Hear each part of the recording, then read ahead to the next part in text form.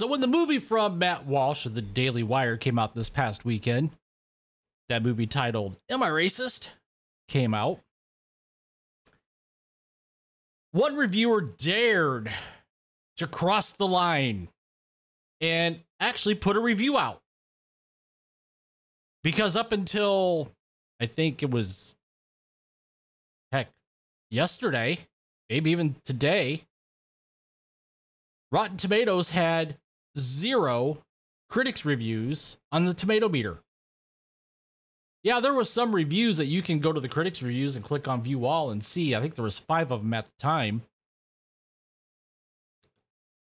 But how dare he cross a line and review a movie that we're not politically aligned with? Especially coming from that Iston ism and whatever else you want to call it person Matt Walsh from the Daily Wire.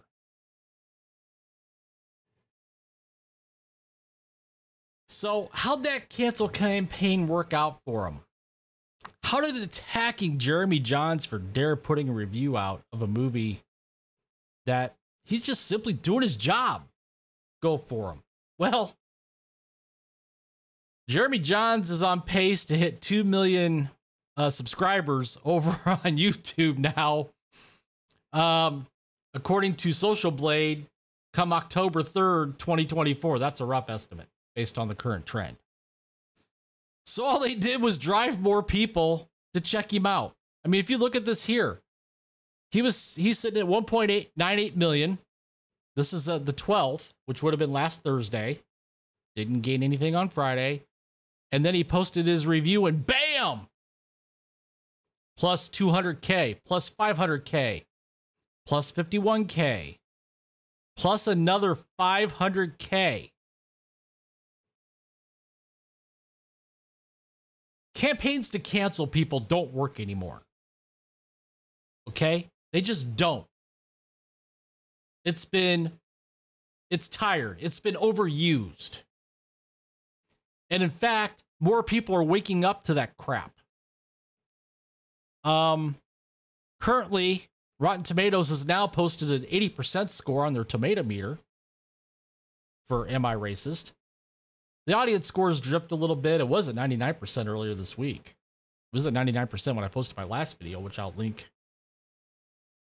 I'll throw a link up in the box here. Um, and if you do look at the critics' reviews, there's only two that are rotten.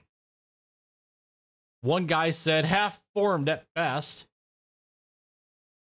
And then the other one, of course, is Despite her bigger target than the bigoted What is a Woman, an industry about profiting off of white guilt, not fighting racism, it shares the same flaws manipulative editing, lazy jokes, and no curiosity, ending on a thoughtless finale with no call to action.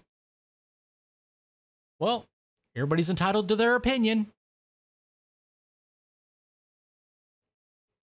Now, on Jeremy Jahns's um, review, if you haven't checked it out, check it out. It's pretty good. Uh, the comments here are just great. If you're raging because Jeremy reviewed a movie you don't like for political reasons, you are the problem. If you're hating Jeremy for doing his job, seek therapy. The fact that Jeremy not only reviewed this movie, but left the review up in spite of all the hate that he's getting reminds me why I respect him. Reviews a Daily Wire film. Still unclear what critics' political beliefs are. Now that's how you review a movie. Bingo, we have a winner. Unfortunately, we've, we've come to a time where everything has to be political. We have to know your political leanings. We have to know who you're going to vote for. That that needs to go away. That needs to change. That needs to go back to what it was.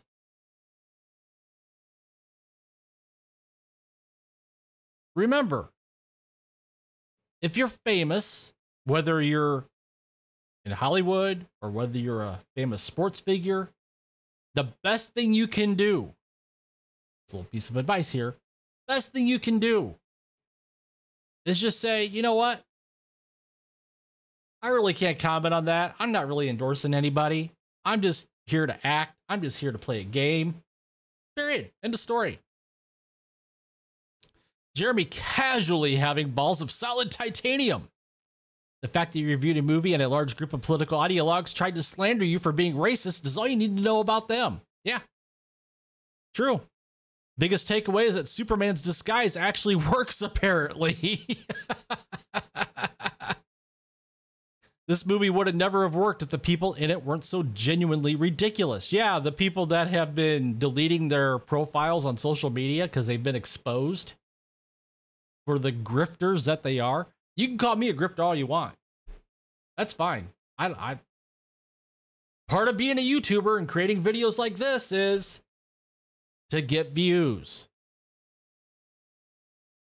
to share your opinion. And if people agree with you, great. If people don't agree with you, that's fine too. Uh, Matt Walsh put this out there. The left has labeled Jeremy Jahns as a racist and a sellout simply for reviewing my film. This is how they play the game.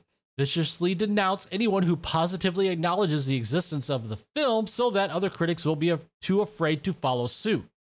Yeah, it's a scare tactic. It's exactly what it is. I sense this is going to work less and less, especially as they're second-handed promoting the movie themselves, geniuses that they are. The left always tries to silence anything they don't like with slander. Yeah, that's true.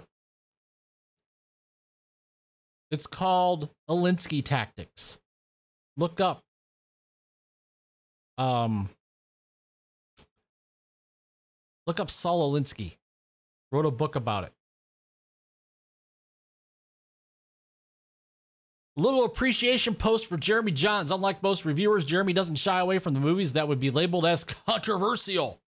He's honest and doesn't involve his own personal beliefs in his videos. Jeremy Jahns is the GOAT. Robert Meyer Burnett. Jeremy Jahns has been reviewing movies for the better part of a decade. Am I Racist was the fourth highest grossing movie at the domestic box office on September 15th. Why wouldn't a professional movie reviewer review the film? To not review it is unprofessional. Now, keep in mind, these are the same people that are probably posting positive reviews about something they agree with idea- in their ideology, which is Agatha All Along on Disney Plus.